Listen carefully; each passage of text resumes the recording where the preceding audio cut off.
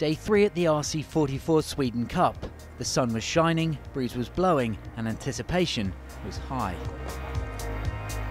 12 teams are in the lineup here in Sweden, all looking forward to getting underway. Going into the second day. Yesterday was a bit of a crazy day for everybody, so a lot of the teams were up and down. Um, the, the, leading boat, Petroleum's on about 11 points. We're pretty far back in the standings, but we're only about 11 points out of first. So today we just need to keep chipping away. It's an awesome day, sunny and nice wind in Sweden, and uh, a couple cool finishes inside with the islands and with spectators and everything. So for us as a team, we'll just keep chipping away and try to have some good races and see what happens at the end of the day. And for others, well, they were looking to improve on good results. We are pretty happy about uh, how we said yesterday, and uh, we try to, to stay consistent also today if it's possible. This was a day where defending champions Team Aqua regained their lead on the series, but it was also a day for newcomers. Starting in 14 knot breeze, race 1 saw Brian Benjamin's Team Aegir take the lead after passing Team Italia on the second leg.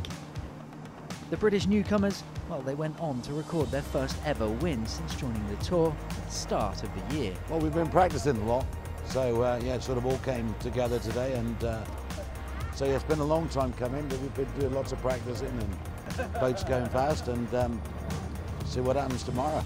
Increasing breeze accompanied the start of race two. Katusha were over the line and called back. Fellow Russians Team Nika were out in front and worked hard to extend their lead.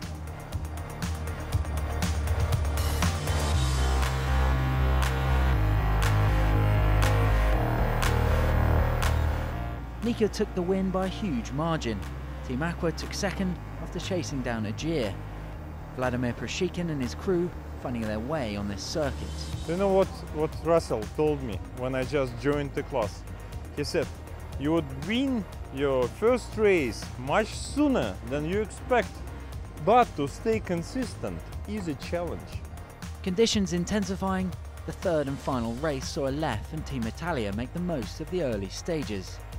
It was Ed Baird and the crew of Synergy who seemed to have the best handle on the conditions.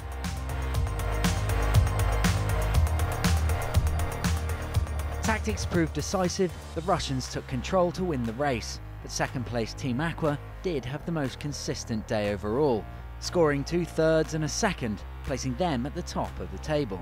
You know, we went out, we wanted to have a good day. We knew it was tricky uh, with the breeze building and the waves were confused and it was a sort of a one-way track. You had to kind of go left and on the runs you had to go left. So great day. Chris did a great job and the, the crew an even better job just to, uh, you know, be consistent in three races.